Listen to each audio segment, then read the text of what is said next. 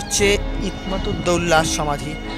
বলা হয় নাকি নূরজাহান নূরজাহানের বাবা মা। আমি ঠিক শিওর নই আ, বলেইছি আমি ইতিহাসে বিদ্যাসাগর। এখানে কথিত আছে যে নাকি শাহজাহান তাজমহলের নকশা তৈরি করেছিলেন এইটাকে দেখে। এবং ডিস্টেন্স তাজমহল থেকে এই উল এটা হচ্ছে যমুনার একদম ধারেই। যমুনার ঠিক উল্টো দিকেই এই মুহূর্তে তাজমহল। মানে বলা হয় নাকি তাজমহলের নকশা ইন্সপায়ার্ড ফ্রম দিস চলুন বাকিটাও দেখে নেওয়া যাক।